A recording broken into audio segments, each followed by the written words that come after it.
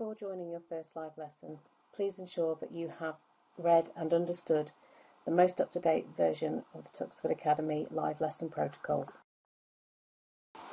Welcome to this tutorial on how to access a live lesson through Microsoft Teams. There are two different ways of accessing a live lesson. The first is to click on the class to which you need to attend a lesson. In the general posts of that particular team you will see that lessons are highlighted.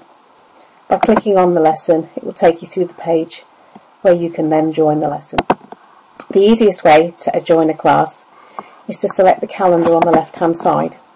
This will show when all your scheduled lessons appear for the week and you are able to go in and select that day's lesson again taking you through to the same page as before.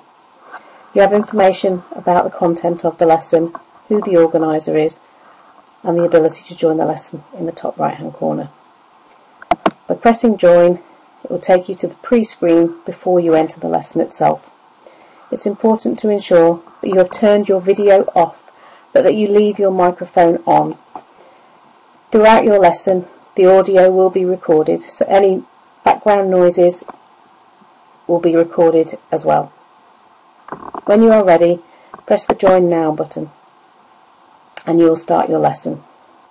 When you are in your lesson, there are a number of tools that appear on the floating menu just below. These include the raise your hand button, which may be useful if you require further clarification from your teacher. By pressing it, the teacher will be notified and you'll see on your screen that it says your hand is raised. The other way to communicate with other people during the lesson is by using the text chat window you simply type in the box at the bottom. Lastly, there is the share button. This will allow you to share the contents of your desktop with the rest of the class. This will include both your teacher and the other people attending the class at the time.